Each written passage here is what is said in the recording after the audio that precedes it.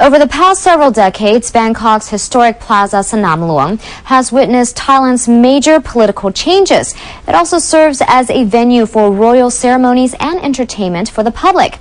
And in the time of an economic slump, Sanam Luang has also become a shelter for hundreds of homeless people. The city's plaza means much more for many lives.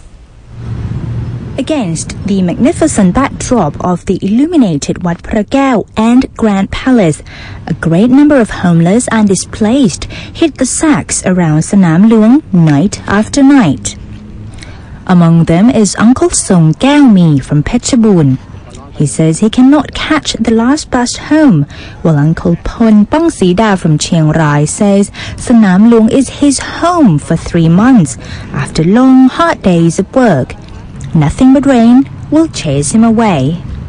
I'm not scared because I know the mat renter. She usually walks around to take care of her customers. Nothing to worry about. I will stay here until April as the rainy season is coming. Then it's not good for sleeping anymore. Come rain or shine, it doesn't matter for a mat renter like Auntie Add. Rain and thunder can never stop me to come here. I never have a holiday as I want to come here every day. So Sanam Luang can't be closed. A lot of people will be affected, including me. Renting mats to the homeless for 15 years has been a proven income source for Auntie Add. Nearly 100 mats are rented out each night. There are also seven other mat renters in the area. The number of homeless and displaced persons sleeping at Sanam Luang has doubled to 400 recently due to the economic slowdown, according to the non-governmental organization Habitat. Many also make a living at Sanam Luang in roles ranging from traditional masseuses to midnight vendors, plying their trade on the sidewalks every night.